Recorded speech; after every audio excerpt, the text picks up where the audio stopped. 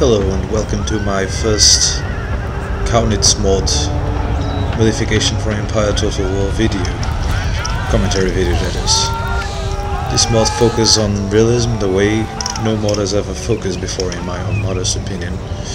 What you can see here is a small skirmish on the left side in which I gave my AI friend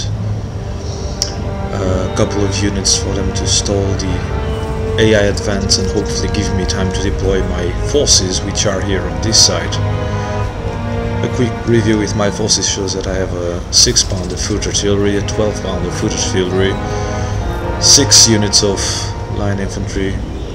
deployed, 2 in the front here with 2 extra here and 2 still moving for this side of my flanks with a couple of 6 pounders also to be deployed here. Um,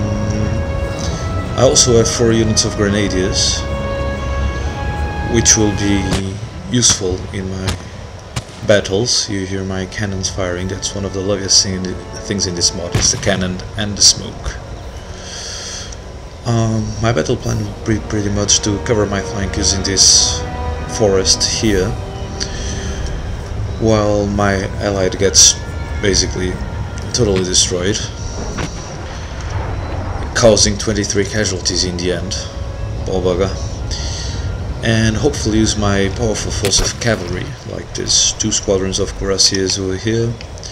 one squadron of dragoons and cuirassiers over here, and one squadron of Hussars doing some reconnaissance duty in front. I also have a unit of uh, Austrian light infantry, which will be pretty ineffective because I still don't know how to use them properly or I just had bad luck. My cannons are firing at the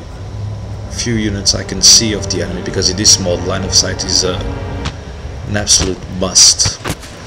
Uh, by the way, this feeling that units move in slow motion, it's it's not my computer that is rubbish, though it's not you know top notch, but it's the mod which is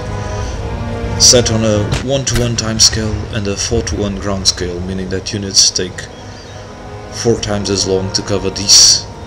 game distance and than they would in the normal Napole uh, Empire Total War game. Anyway, I'll pause for a bit now and we'll be back soon when some action actually starts.